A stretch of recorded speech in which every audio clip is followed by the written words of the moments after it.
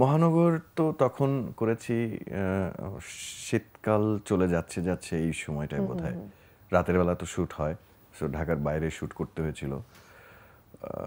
নিপুণ ভাই তো দারুণ তার সাথে শ্যুট করে মজা সো তার মধ্যে আবার মহানগরের শুটিং চলছিল সো ওইটার মজা তো আলাদা। ওটার ক্যারেক্টারই তো আবার আমি হচ্ছে রাজা আফনান চৌধুরী।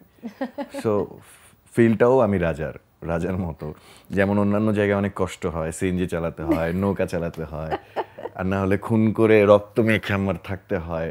দুপুরে লাঞ্চ করার সময় হয়তো রক্ত এদিকে মাখা পুরোটা মুছতে পারছি না কারণ কন্টিনিউটি আন্তনগর তো হ্যাঁ আরও একটি কঠিন প্রজেক্ট ছিল আমার জন্য। কারণ আমি তো রেগুলার সিএনজি চালাই না যেহেতু ক্যারেক্টারটা সিএনজি চালকের ক্যারেক্টার সো সিএনজিটাও চালাতে হবে এমন স্মুথভাবে যে আমাকে যেন মানে আমি নতুন চালাচ্ছি এরকম যেন মনে না হয়। সো সেই জায়গা থেকে সিএনজি চালানো এবং রুনাপুকি নিয়ে ডায়লগ ডায়লগগুলো আবার ওই সিএনজিওয়ালার ভাষায়। হ্যাঁ হ্যাঁ হ্যাঁ। আমি তো আমি তো বুঝতে পারছি না যে রুনাপু নিশ্চয়ই ভয় পাচ্ছে কারণ আমি অ্যামেচের ড্রাইভার আমি মেইন রোডে চালাচ্ছি সিএনজি হ্যাঁ। আবার ডায়লগ দিচ্ছি হ্যাঁ। পারফরমেন্সও আছে সেখানে। বুঝতে পারছিলাম যে সে একটু ভয়ে ভয়ে ডায়লগগুলো দিচ্ছে। একটু পরে ঠিক হয়ে গিয়েছিল কারণ বুঝতে পারছিল যে আমি হ্যাঁ পারি। বাইক চালাতে পারলে সিএনজি চালানো খুব ইজি আমি কি তুমি আরও একটা ভালো কাজ আমি বলব? আমি নিজে দেখেছি। এবং আমি আমার কাজ বলে বলব না। এই কাজটা একটা ভালো কাজ।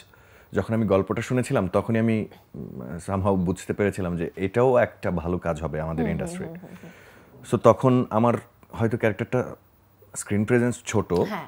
বাট অনেক গুরুত্বপূর্ণ। ভীষণ। এবং আমি ভেবে দেখলাম যে এরকম একটা ভালো কাজের সাথে যুক্ত থাকা উচিত আমার যেহেতু এই অফারটা আমার কাছে আছে।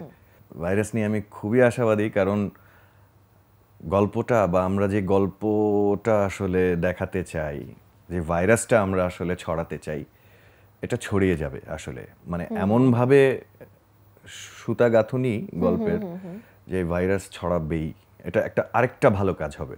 ডিরেক্টর দারুণ ডিরেক্টর এক কথায় জোশ।